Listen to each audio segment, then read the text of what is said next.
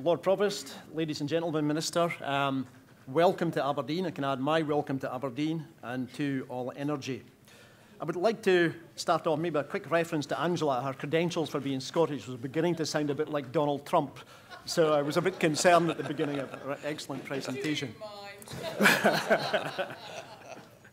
um, but I would like to really seriously start by thanking uh, Judith Patten, who's put in a tremendous amount of energy herself in the last 14 years to make All Energy the success that it is today.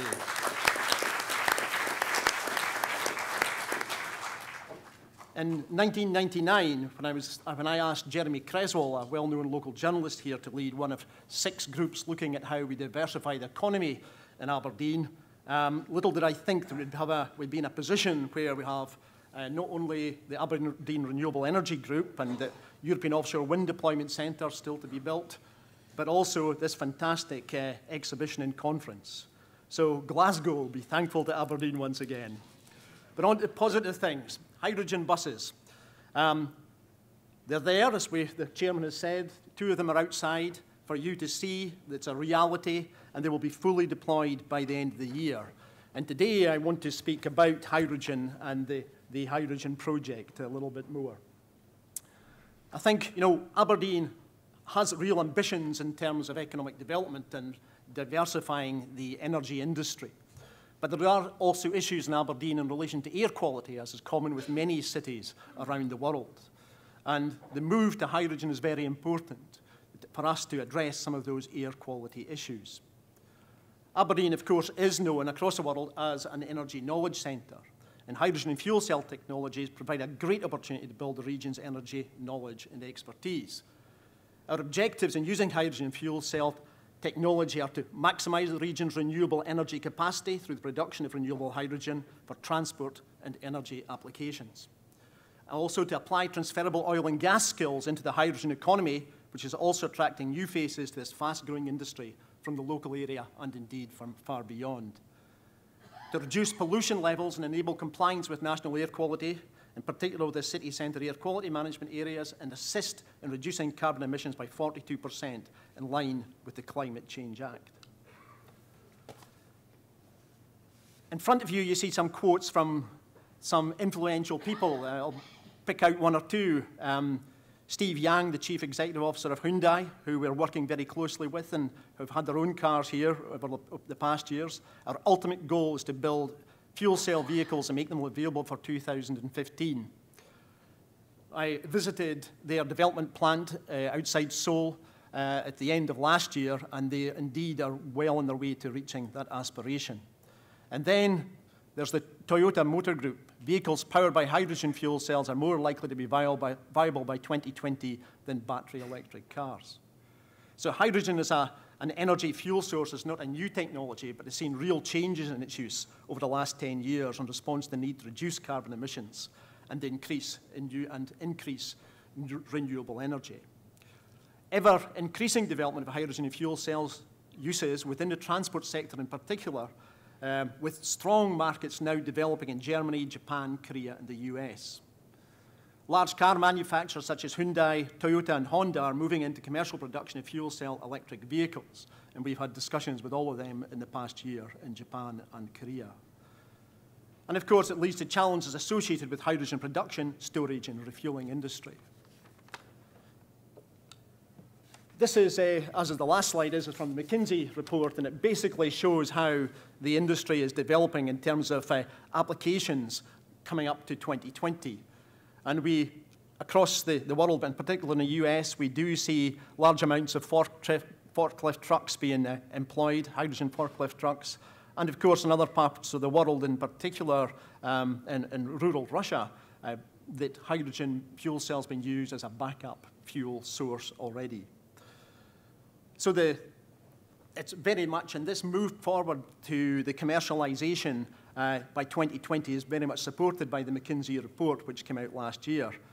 Uh, the McKinsey report was developed, developed by the Fuel Cell and Hydrogen Joint Undertaking, which is a, a EU Commission body, which we work very closely with and have done on the hydrogen buses. And the report demonstrates that the commercialisation of vehicles such as car, buses and light vehicles are expected to occur in the next three to five years. Course, this raises issues and constraints in the hydrogen infrastructure to support this development. That's one of the challenges we have here in the city. In particular, the development of refueling infrastructure links to renewable energy and hydrogen production, as well as the potential use of hydrogen as a byproduct from industrial process. But it's really the, the, the, Aberdeen Hydrogen Bus Project itself I want to tell you about today. The Aberdeen Hydrogen Bus Project aims to address the technical challenges, and it is a project, it's a research project that involves the deployment of real buses. It's to integrate hydrogen and fuel into low-carbon transport solutions with, within Aberdeen and more broadly across Scotland. It's to test the ability of hydrogen fuel cell vehicles to support battery electric vehicles as a technology to reduce carbon emissions for the transport sector. The bus, the bus project aims to create demand for hydrogen, 160 to 200 kilograms a day, which can allow other technologies and solutions to be tested, such as balancing supply and demand of wind energy. And of course, the ultimate gain, uh, ultimate uh, endpoint we're looking for here is the production of green hydrogen. We start off with, with brown hydrogen, but our ultimate aim in terms of this project is to produce green hydrogen and use that in the buses. The Aberdeen Hydrogen Bus Project consists of two European funded projects, High Low, High Low, High Low City and HyTransit. In total, this has secured 10 million euros funding, which allows Aberdeen to invest in hydrogen infrastructure and buses. And the buses, I'm delighted to say, will be operated by First Bus and Stagecoach. Um, first, of course, of their world headquarters in Aberdeen and Stagecoach in Scotland.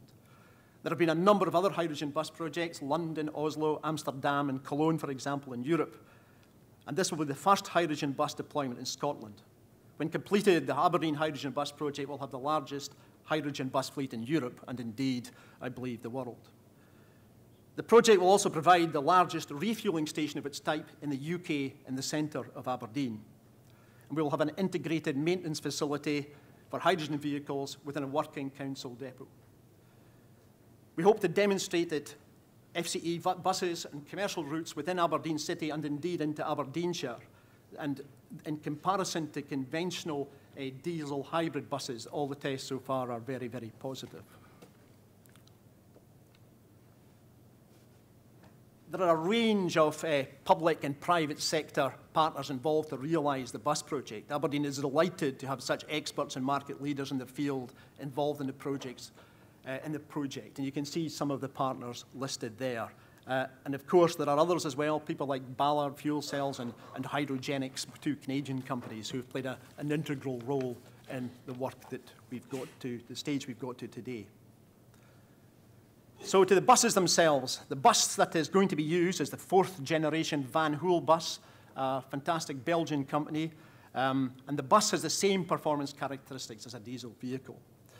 It's been the fuel cell that's been used has been extensively tested in, the, the, in Whistler, in British Columbia, um, where it's been used to go up the, up the, steep hills to the various ski resorts in, in, in that area.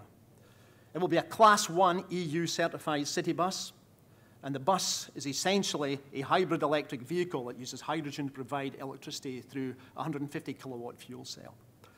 Hydrogen is stored on the bus on the roof involving 10 hydrogen tanks, which provides a range of 220 to 260 miles per day.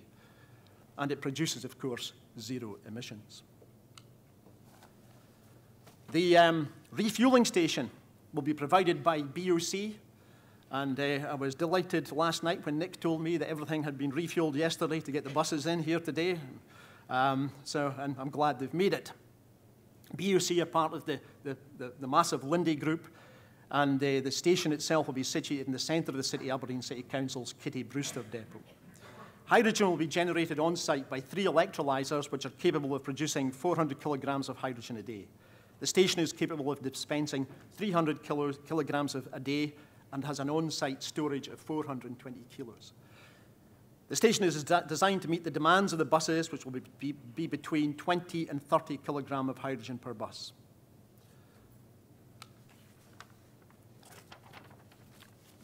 The Aberdeen Hydrogen Project shows the concept shows the concepts we have for the possibilities of hydrogen production, storage and use, and sets the template for future expansion of hydrogen infrastructure in the UK. The bus project forms a key demonstration project within the H2 Aberdeen initiative that promotes the strategic hydrogen framework for Aberdeen, which identifies the concept for the future use of hydrogen within the Aberdeen city region.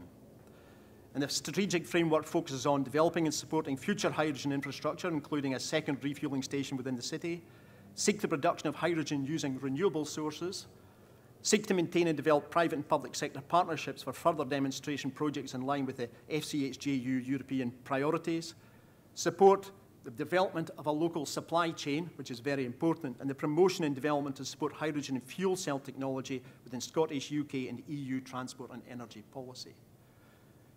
With the ultimate aim for Aberdeen to be the EU Centre of Excellence for Hydrogen Technologies and Demonstration Projects. The Aberdeen Hydrogen Economy for Aberdeen City Region Strategy uh, document.